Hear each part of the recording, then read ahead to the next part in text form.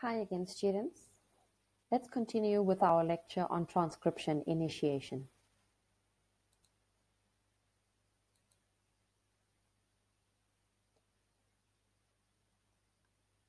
I'd now like to discuss where transcription takes place.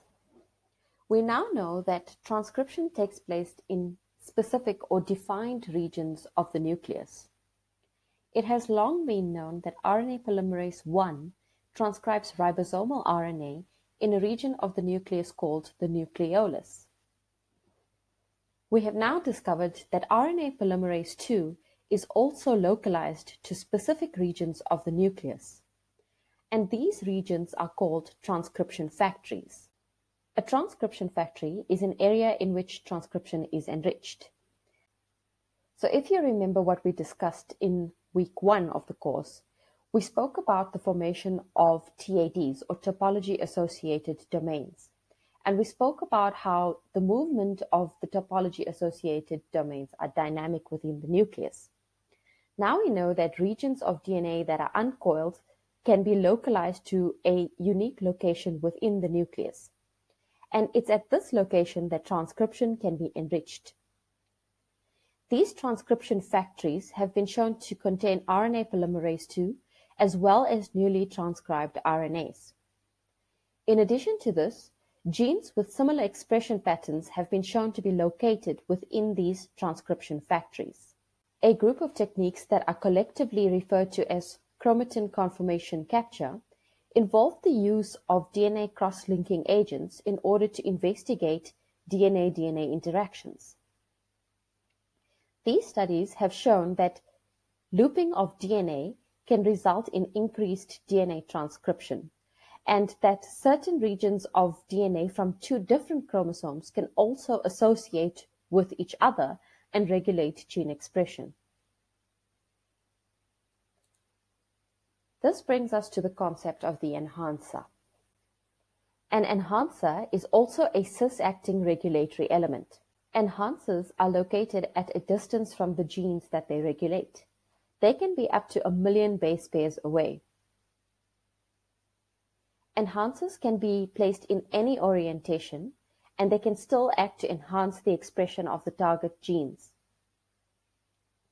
They can be located either upstream or downstream of the genes or the gene promoters that they regulate, and they may also be located within the intronic regions of the genes that can be later spliced out. Although these enhancers are located at a distance from the genes that they regulate, they still act to modulate the expression of these genes. And chromatin-chromatin interactions or DNA-DNA interactions have shown us how this may be possible. In addition, enhancers may also play a role in regulating the expression of not just one, but multiple different genes.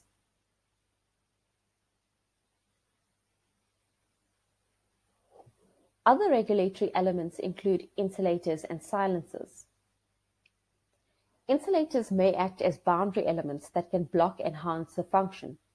For example, if an enhancer is located at a distance from the gene that it regulates, an insulator may form a large DNA loop between the enhancer and the promoter of the gene. And this prevents the enhancer from reaching or binding to the target promoter and prevents the enhancer from increasing the expression of that gene.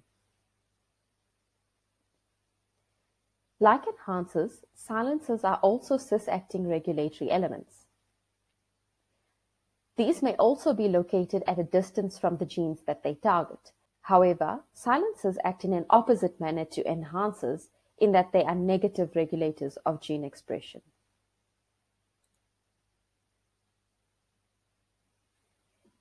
This brings us to the concept of the mediator.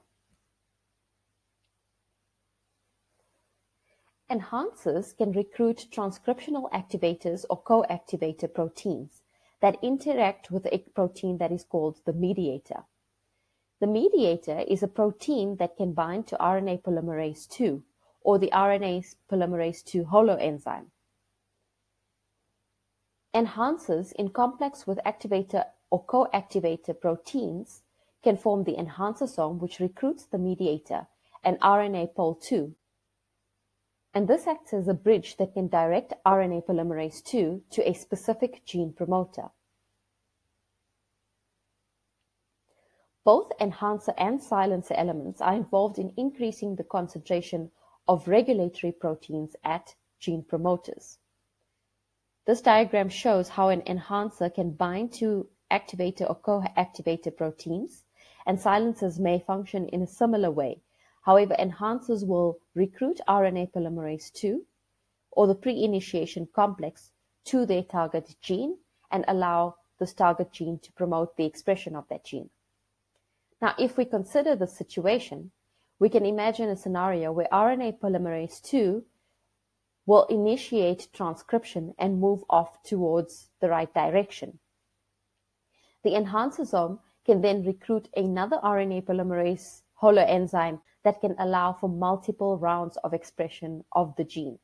In this way, the enhancer can increase the expression of a particular gene.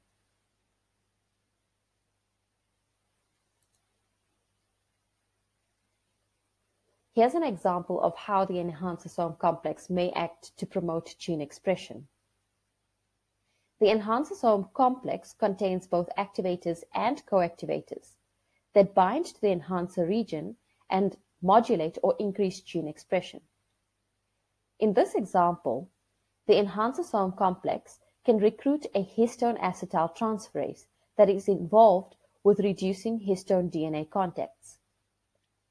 A SWI/SNF complex is then recruited to the enhanceosome after histone acetyltransferase binding. The SWI/SNF complex then modifies nucleosomes upstream of the target gene. Displacement or sliding of the nucleosome at the enhancer site leads to exposure of the TATA box, and that can allow for basal transcription complex binding to the TATA box region and transcription initiation. LNC RNAs or long non-coding RNAs can also act as enhancers. In this example, a long non-coding RNA is transcribed at the enhancer region. Transcription of this long non-coding RNA results in the recruitment of chromatin modifying enzymes. That's depicted by the C in the diagram. These chromatin modifying enzymes can result in loosening the DNA at the enhancer region. Uncoiling of the DNA at the enhancer can lead to a loosened DNA structure, and this can form a looped structure of DNA. Since the DNA is now unpackaged at this loop structure, this region of the DNA is free to move around. Other chromatin modifiers or activator and co-activator proteins can then bind to the enhancer region and can target these chromatin modifying enzymes to the gene promoter, resulting in decondensation or unpackaging of the chromatin at the promoter region, which will then allow for RNA polymerase II to access the gene promoter and initiate transcription. So to summarize these concepts, let's look at an example of the human metallothionein gene. This diagram shows an example of the metallothionein gene and its cis-acting regulatory elements within its promoter. The metallothionein gene is expressed in response to heavy metal toxicity or oxidative stress. And this gene contains multiple cis-acting regulatory elements in its promoter. It contains enhancers and repressors of transcription.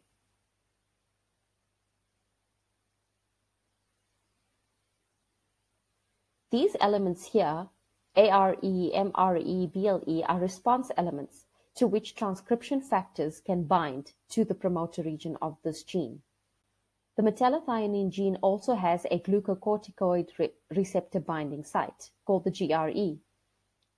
The glucocorticoid receptor and MTF1 are usually located in the cytoplasm.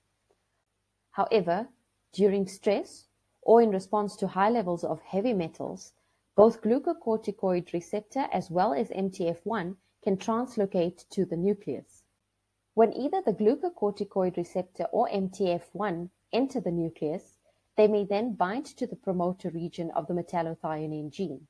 Once bound, they may recruit other factors or chromatin modifying enzymes that result in exposure of the TATA box and expression of the gene. In addition to transcription factors that can bind to the promoter region of the metallothionein gene, the metallothionein gene also contains a binding site for a repressor called PZ120.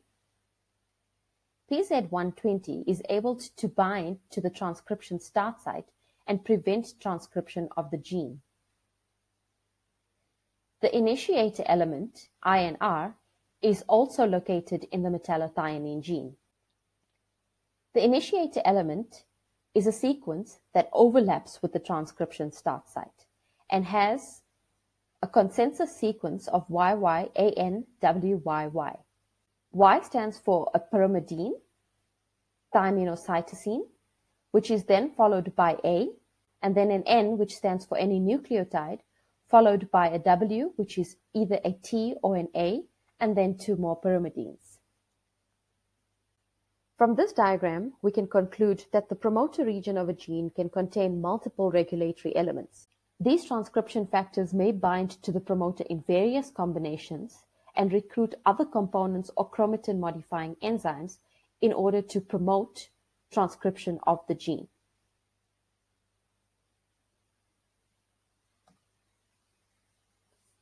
Here's an example of how transcription factors or cis-acting elements may promote transcription of a gene.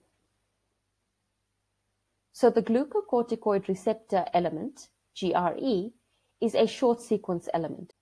A short sequence element means it's made of a few nucleotides.